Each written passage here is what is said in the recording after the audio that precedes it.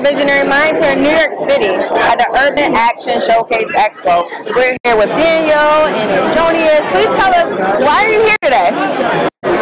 Oh, why we here today? Yeah. I'm here to showcase to the world my vision and my love for women. Hmm. I want to empower women. I want to give them the strength. I want to give them the ability to share their voice.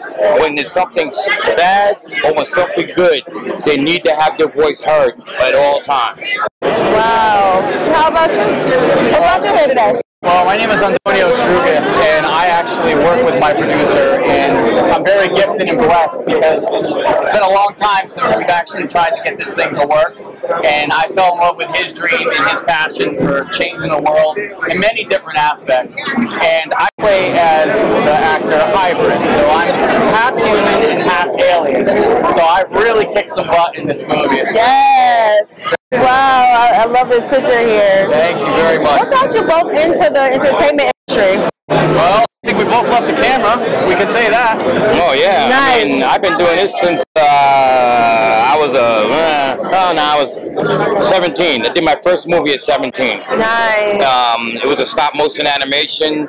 My my he became my mentor later before he died was Ray Harryhausen. He's the guy that did the Seven Voyages of Sinbad and and you know all those movies with the di- with the the skeletons fighting the the pirates.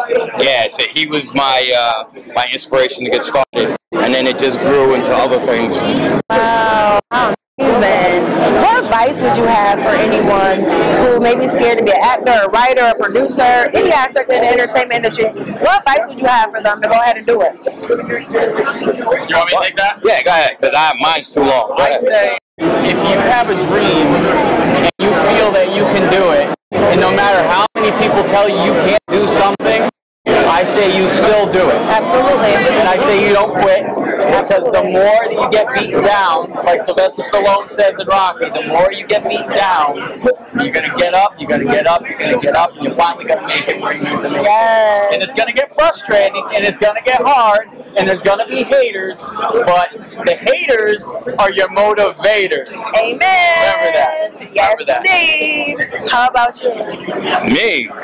Well, my motivational speech stems from my father when he told me that women are a gift from God. Amen. He Go used to get on me all the time when I talk back to my mom.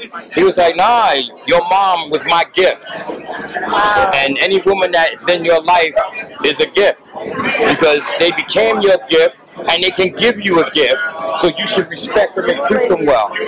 And my advice is never, ever, ever give up or let anybody who's in your life change you from doing what you need to do Wow. because I had an opportunity when I thought that no one would ever want to hire me as a you know young black boy growing up in Queens, you know, because you know they hear all the stuff, and one guy gave me that shot, one guy, and now I'm a two-time Telly Award producer director.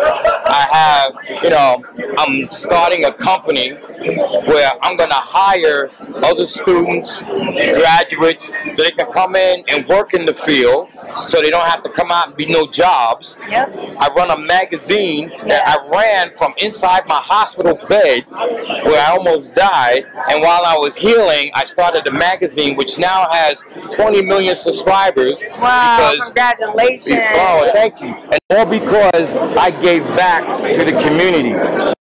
I showcased the community what the community did, and it just kept growing and growing.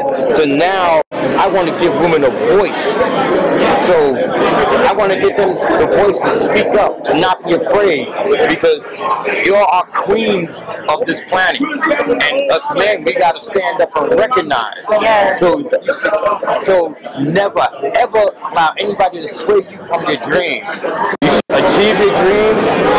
I got knocked down a million times, but it's that million and one. Yep. That's the one that set me going. So never ever give up. You You know, what both of you are saying is so inspirational, Yes. especially having a public access talk show in small Syracuse, New York.